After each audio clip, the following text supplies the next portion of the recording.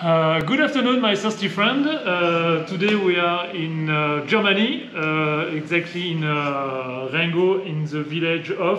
Hattenheim. Thank you very much, uh, Christian. Uh, thank you very much for uh, welcoming us. Eric, it's a great pleasure. Thank you for your visit. Uh, we are very uh, honored. And in fact, yes, my family has been in, uh, in the wine business for, uh, for a very long time. Um, actually, I'm generation number five. Um, the business was started in 1870 by Balthasar Ress. now, what, 60 plus? 55 hectares. 55 hectares. 55 hectares plus the négociant uh, part of the business, which Yeah. is a separate activity, a separate company, separate owners, but still family members. So, um, and, and I take care of, uh, of both, uh, both companies. We are today, we are famous for the estate wines. But this on a more commercial side has always been there, and we are known as a player on that négociant part as well. These two uh, cuvées, which are called uh, uh, the best uh, neighbors. Um, so it's a partnership with one of your neighbor. Exactly, exactly. I mean, the, the name really stands for uh, the, the actual story. Because what do we want to say with best neighbors? Actually, it's really it's um, a partnership between my family, uh, which is uh, the the Ress family, and uh, Markus Bonsel. yeah, I I can. I uh, can see it. Yeah, it's uh, Ress and Bonsel. So therefore, Written that's not my, or I'm not alone in that project. Mm-hmm. This is a 50-50 partnership, joint venture yeah. uh, between us, my family, and uh, Mr. Bonsel, who is a, a very talented winemaker. And so we are neighbors because we are in neighboring villages. We are in Hattenheim, he's in Halga. But then we said, okay, then let's do a best neighbors concept where everything is related to neighbors. So we decided, okay, one of the wines, uh, the Riesling, will be made from, from the Rheingau, this side of the river. The other wine, the Sauvignon, will be sourced, sourced from the other side. Neighbors too, neighboring sides of the river, if you want. I understand. Uh, so that's again the neighbor, uh, the neighbor uh, idea, and obviously two, uh, two different grape varieties. Always a pair of two different things. In the case of uh, the Sauvignon Blanc, so it's coming from Rheinhessen. Yes. Uh, that's right. And uh, it's it's it's a remind. I mean, for me, it's reminiscent of uh, for, sure cool climate, like some Loire Valley. Uh, I get some uh, bit of vegetal character, some capsicum. Of course, while we are talking about 2021 uh, vintage, so it's obviously a vintage where you will not get uh, wine with too much, uh, let's say, exotic character. Uh, maybe. I mean probably maybe on vintage like 2020 was maybe more fruit driven Yeah, yeah, because we, we know, I mean, 21 was a, a difficult vintage yes uh, everywhere in europe yeah. You uh, you could do fantastic wines, but at a high price because you just had to to accept first of all that anyway that the crop was small and you had to you know take away what was not in perfect condition what we did. So at the end this was a massively reduced uh, crop. In the same uh, range so the riesling of course huh, uh, from the neighbor here you go 2021 exactly and that of course is probably the uh, the most typical grape variety you could expect from Germany because it's uh, the leading grape variety for which uh, Germany is uh, is known. Um, uh, in the best neighbors range we do dry wines so it's it's a range of very refreshing dry wines. When i say dry it doesn't mean that it you know has no not a nice balance. It still has a, a few grams of residual sugar but with the nice acidity uh, of the, this young and fresh uh, vintage it, it gives a very nice uh, nice balance. Uh, but it is a great refreshing uh, light uh, uh, light wine. Yeah, it's very approachable very friendly very clean. Uh, really have a mouth uh, watering uh, you feel you're drinking uh, some kind of uh, um, citrus uh, juice uh, uh, it's, um, yeah grapefruit Yeah, so it's food forward, Peach. and this is Yeah. what you have to expect anyway in um, uh, in, in this uh, range. I, I- believe this comes, I mean, uh, from uh, maybe the the bottom of uh, uh, the hillside of uh, Rheingau. I mean, because it can, it can. I mean, we will see it uh, maybe later. It's very steep. Uh, so this is can be very steep Can in be very Rheingau. steep. In Rheingau, it's uh, we have a little bit of everything, which is nice, you know. So here in the center of the Rheingau, Uh, it's not too, too steep. We have very uh, fertile uh, and, and heavy and, and humid soils, which especially in a, in a dry summer like uh, this year is very, very helpful. While in the western end of the Rheingau, it gets steep, more rocky, um, uh, completely uh, different. And this is more something which we would source from the center of the, the Rheingau, from the more fertile, Exactly. fertile soils, uh, uh, which uh, brings in the fruit in the, uh, in the wines. Yeah. So this one is 100% uh, Ress. Uh, so this is your uh, Negos. no uh, neighbor, no neighbor. No exactly. neighbor. Yeah.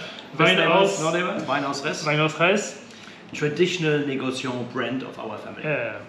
And this is a 9% uh, alcohol uh, wine. So usually if you see on a Riesling uh, something, so, sorry, a wine below 11% alcohol, there's a high chance that there is some residual sugar in the wine. Exactly.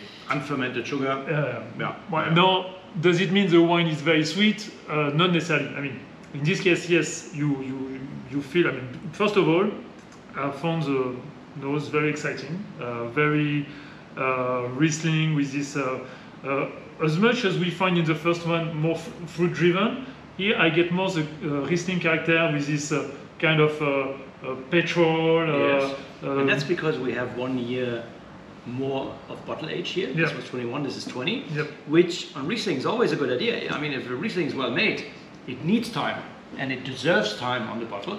And I think this works perfectly, uh, perfectly fine.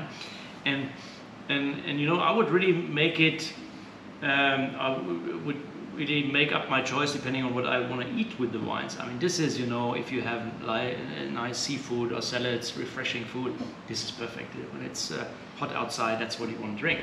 The moment it gets a bit more uh, spicy, uh, thinking about, uh, you know, uh, Thai food, uh, nice Indian curry, this is beautiful. Yeah, There's yeah. nothing. I mean, this is fantastic. You know, with a uh, with a Indian curry, wine like this, fantastic. Now let's talk about uh, so Balthazar uh, Ress. So you're part of uh, VDP uh, association, which is uh, something uh, uh, special. Maybe you want to tell us a bit more uh, of this association. How does it work? Yes, yes. I mean, uh, very quickly, huh, to make it uh, to make it quick and simple. The VDP Association is the leading association of German wine producers, and it's one of the oldest associations in the wine branch in the world, actually. And um, we have slightly over 200 members.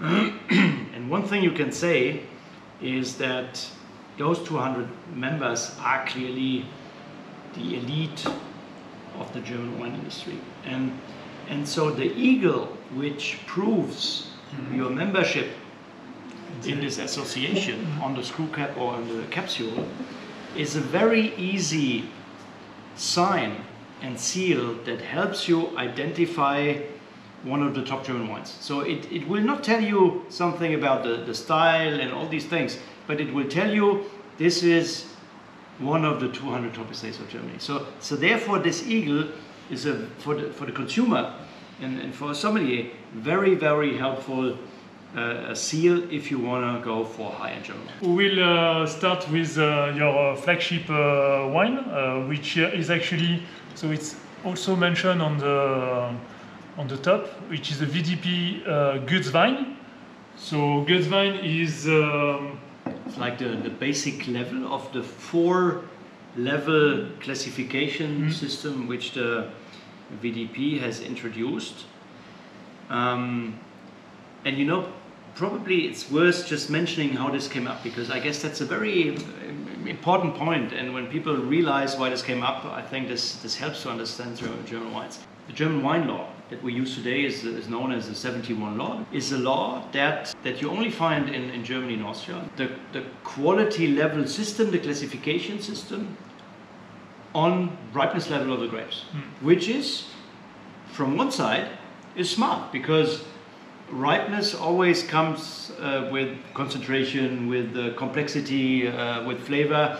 So of course, ripeness is important. Ripeness makes sense. On the other side, the problem with a concept like this is that it neglects completely something else, which is very important for the wine quality, which is terroir and origin. You know, a consumer has no chance to judge whether this is a, a medium vineyard, a normal vineyard, or it's a you know high-end vineyard. The consumer had no chance based on the on the 71 law, and that's why the VDP came up and said, people, and this was introduced in 2012. They said we need to help the consumer to identify the level of the origin because that's another important part. Ripeness level is fine, but on top of that, we need to indicate uh, a level of the origin, and, and that's why they came up and introduced this four-level system, like in Burgundy. Exactly. So it's, so it's uh, like the regional wine. This would be the, the Bourgogne, uh, uh, and then we have the Ortswein, the village.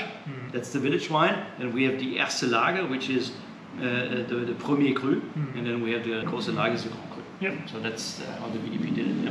This is a very important wine. That's our bread and butter wine. Yeah. You know, that's our best-selling wine, our most important wine in the whole portfolio. The von unserem, it means from us. That's a brand that has been used for over 100 years by every single generation of the restaurant.